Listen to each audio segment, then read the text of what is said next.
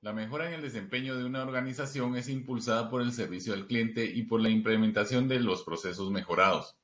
Hoy es momento especial porque quiero compartirte que estoy celebrando llegar a 100 videos publicados en este canal y para celebrarlo bien te invito a descubrir uno de los indicadores que yo te podría decir es de los más poderosos para mejorar ese desempeño en las empresas.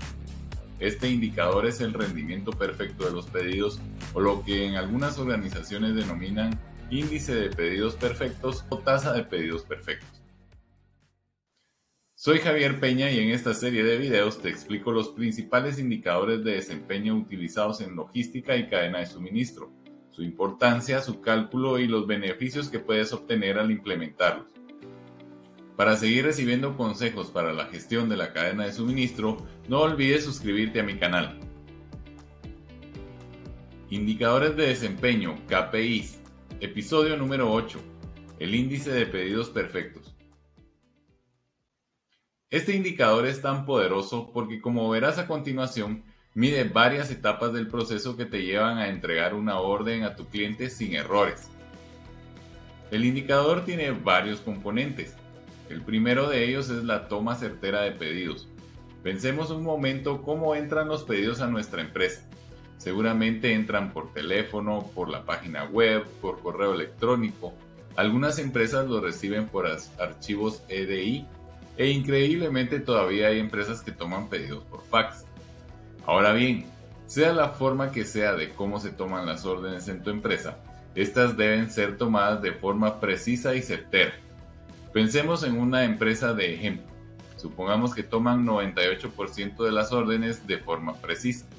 Suena un buen número, pero si lo piensas, hay un 2% de órdenes que se toman de forma errónea y esa es la parte inicial del proceso. Esto suele ser algo común en las empresas. El siguiente componente es la disponibilidad de inventario. En nuestro ejemplo, 85% de los pedidos que ingresan se tienen en stock listos para entregar. Regularmente medimos esto como el nivel de servicio.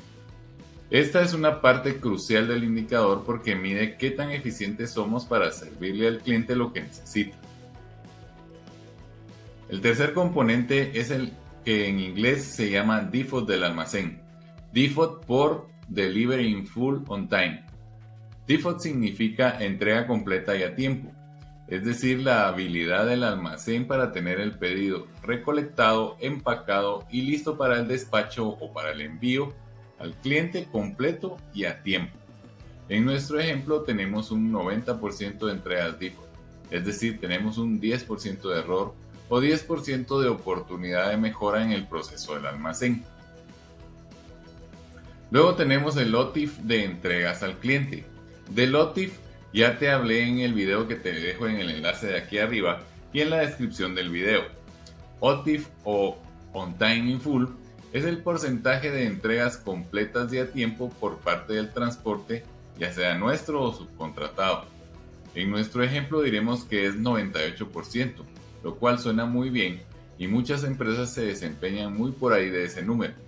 Este es también el indicador que muchas organizaciones consideran el adecuado para medir la perfección de las órdenes, pero como ves hasta aquí, un pedido perfecto no depende solo de entregarlo completo y a tiempo. Así que sigamos viendo el resto de componentes de nuestro indicador de hoy. El quinto componente es el porcentaje de órdenes aceptadas por el cliente, es decir, órdenes que no tienen ningún daño. La factura es correcta, la documentación de entrega también, y el cliente no la rechaza por alguna otra razón. En nuestro ejemplo colocaremos un 95% de órdenes aceptadas. Y finalmente, para cerrar el ciclo, tenemos el porcentaje de facturas pagadas a tiempo. Y aquí tenemos un 98% de casos en nuestro ejemplo. Pensándolo un poco, ¿cuáles de estos indicadores mides actualmente en tu empresa? La mayoría de empresas están midiendo principalmente el OTIF, pero no todas le ponen atención a las otras cinco y mucho menos combinarlas. Siendo realistas, para poder analizar cómo está el desempeño de toda tu organización, deberías multiplicar todos esos porcentajes para saber en qué posición te encuentras en este momento. Hagamos el ejercicio para nuestro ejemplo.